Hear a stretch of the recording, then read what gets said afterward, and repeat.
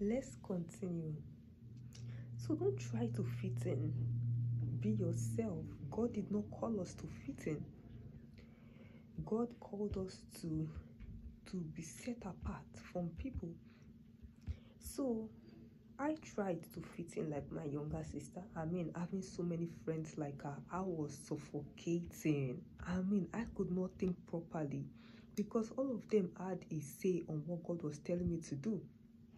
It's better to be alone with God than have friends that don't have a personal relationship with God, than have friends that don't even think like God. No, God will isolate you to get your attention. God will remove God will remove your friends to get your attention. But remember, you are not alone. God is with you. So God started removing my friends when I was in college. I had no friends except Jesus. Something great happened. I thought I would not be able to survive without friends. But what? Hmm. God showed me I can do without friends. Like seriously, my grades became better much better no friend just me and jesus in college go to class come home study no hangout my grades improved. My spiritual life increased. I mean i heard from god clearly. I am doing what god was telling me no second guessing. So when my parents realized that i am doing well in school i'm doing well spiritually the devil wanted to use them to spoil it. Like when you are doing well, the devil will use people to point out what is not going well instead of what is going well. My parents sat down one day, they started saying, You have no friends. I did not notice because I was busy hanging out with God. In school, hanging out with God, boom, grade A. At work, hanging out with God, boom, able to handle my crazy managers, you know, driving home, hanging out with God, on how to handle the next day when i get home i sleep because i had a stressful day then i wake up and i'm spending time with god gisting with god listening to motivational sermon watching action movies. I mean before i know it it's time for bed.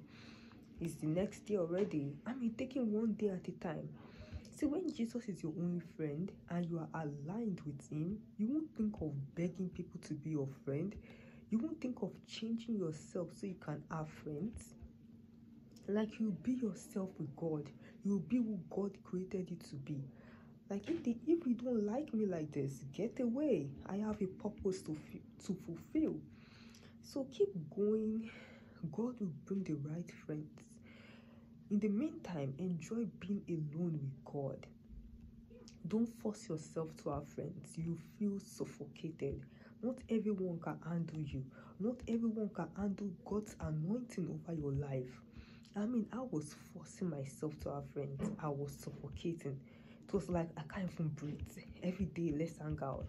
They call every time. Like I did not have time to think. I didn't have time for God. Like I stopped that friendship and God allowed me to be alone with him so he can get my attention and tell me the book to write you know, I was more creative when I was alone with God. Like, seriously, like, I think better, I act better.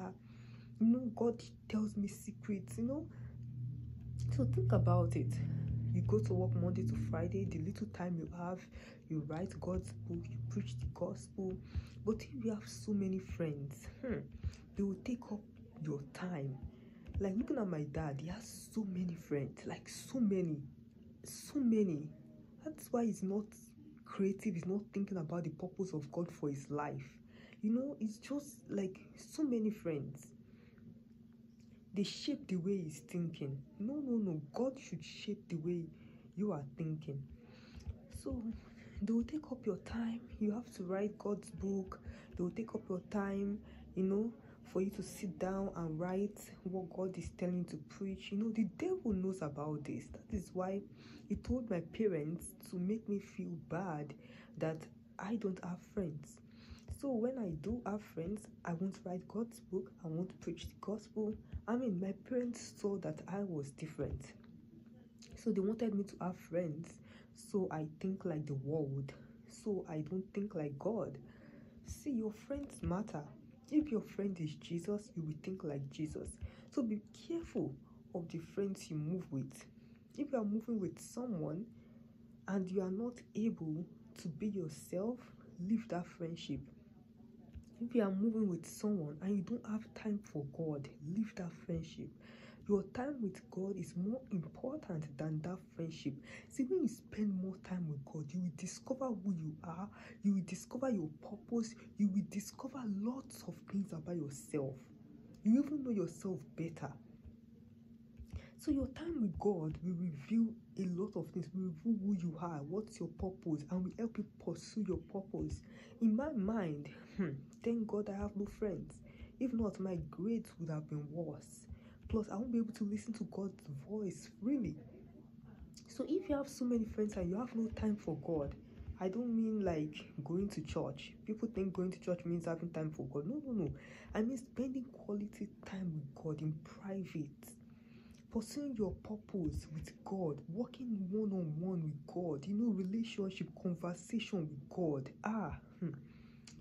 if you can have that, hmm, you you will be saved you'll be fulfilled you won't you won't feel like fitting in so if you are going so like if you have so many friends and that demands your attention that are demanding your attention all the time you're on a dangerous track so many friends does not mean you are successful but spending time with god means you are successful. Doing God's purpose means you are successful. Job, degree, money does not mean you are successful. Instead of them to say you are doing well in school, you are doing well spiritually. Like right now, let me give you an example of my life. Like I work 10 hours a day. When I come home, it's like 6 or 7 p.m. I take a shower. I listen to motivational sermon on YouTube led by God. I write God's book. I write what God wants me to preach. I watch a movie. Before you know it, it's 10 p.m. It's time for bed. I'm so focused getting God's purpose done, getting God's book done, preaching the gospel to motivate people to follow Jesus, sharing what God wants me to share so people connected to me and God can be saved. Like I have a goal with God. This is not the time for friends. Like seriously, there is time like first of all this is time to focus there's time for friends there's time for no friends remain focused and reach god's goal finish that book preach what god has laid on my heart and post it all those things are taking time like seriously also some other god projects i'm working on like we have limited time so use it wisely we are going somewhere, we are getting somewhere with the help of the Holy Spirit. Stay in alignment with God. There's a time to have fun, there's a time not to have fun. There's a time to go to the club, dance, and preach the gospel. There's a time to stay away from the club. There's a time for cinema, there's a time for no cinema. Go with God's flow. Ask yourself, what am I doing with my life? Don't just live life as it comes. Like, seriously, take hold of it. Take hold of God's future for you. Fulfill God's destiny for your life. Stop living like an ordinary person. Live with purpose. Like when I look at my twin sister, all she does is become a full housewife. Is not God's destiny for us. God has great purpose for our lives. It could have been me. I almost married someone that don't care about God's purpose for my life. The moment I said no with God's help, God pushed me to destiny. It's destiny time.